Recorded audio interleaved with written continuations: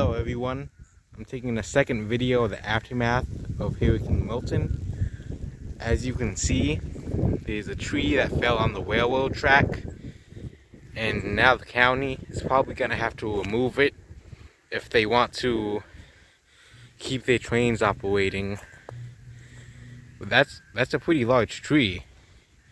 And I don't know when the county is gonna pick up the tree, but we have to do something about it soon.